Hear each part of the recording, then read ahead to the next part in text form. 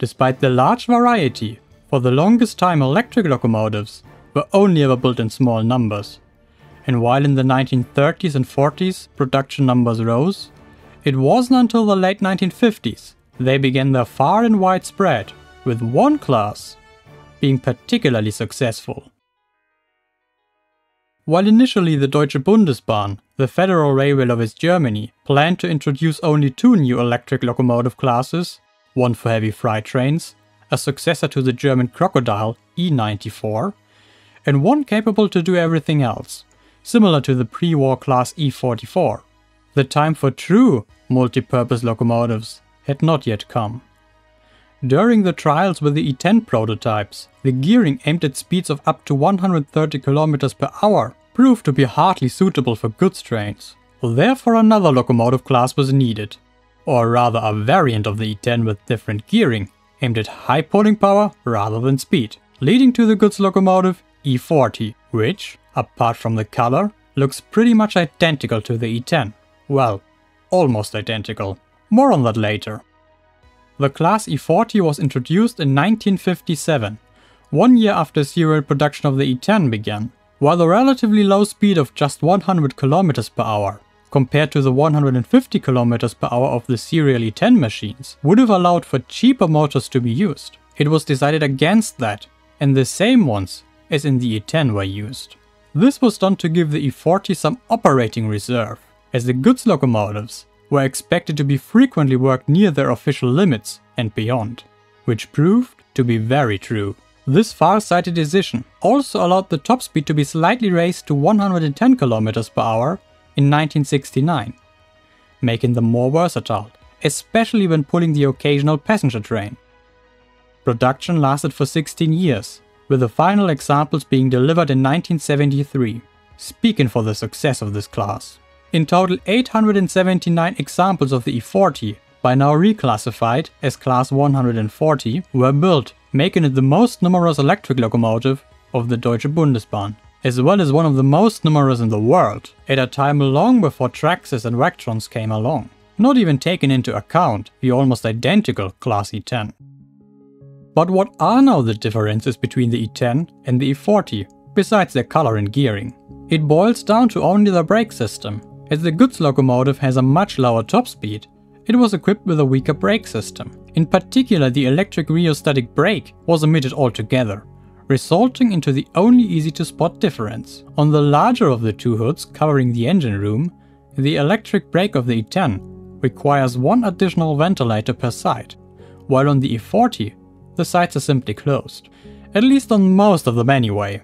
The simpler brake system of the E40 is sufficient for flat track, but not for inclines. Therefore, a small number of E40s received the electric brake after all, and with them also the additional ventilators, known as E40.11 or from 1968 onwards as Class 139.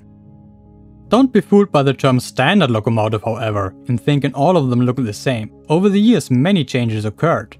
Some locomotives were already built to a modified design, while others received them during an overhaul, and some of the modifications could change their appearance quite dramatically. The first machines were still painted in the dark bottle green paint, with a rain gutter separating the body from the silver painted roof.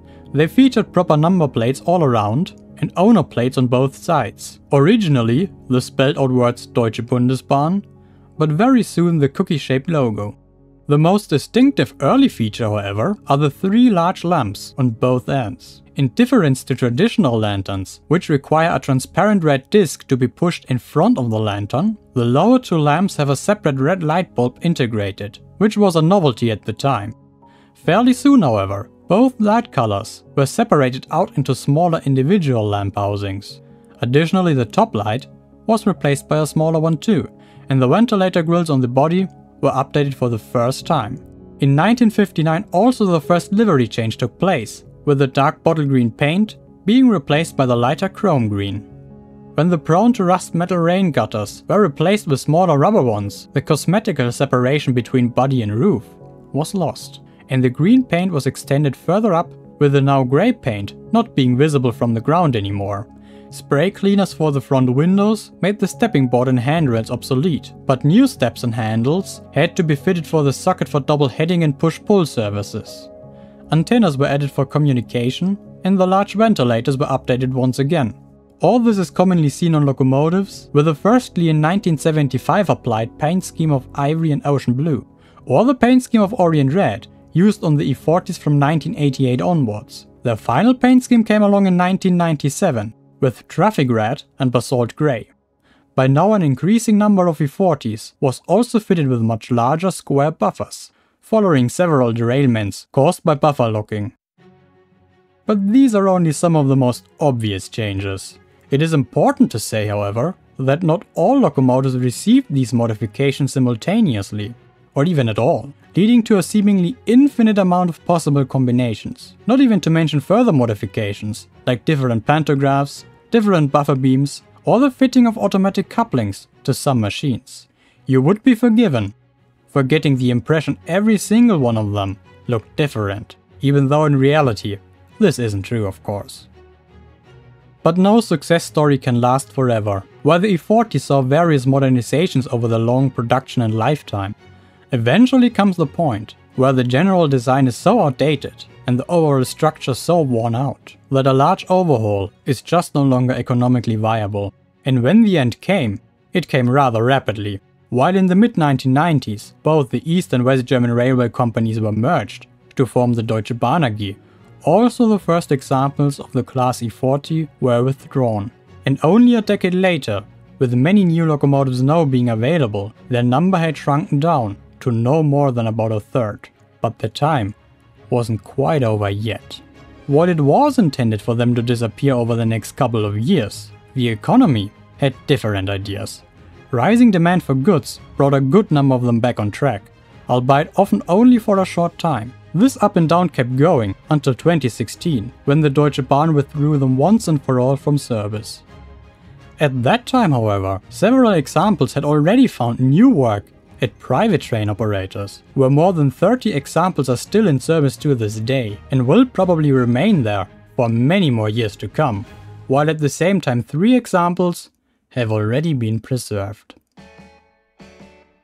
An equally long-lasting thank you goes to my channel members Dave Heise, Flipschwip, Kay Frankly and Lucas Ilskens for securing the future of my channel. If you want to become a member yourself or prefer to tip me a cup of tea on Ko-fi, you can find both links in the video description. I hope you found the spotlight on one of Germany's most important electric locomotives interesting. Feel free to subscribe for more locomotive portraits in the future. What class would you like to see a video about? Until next time, here at Steel Bridge Models.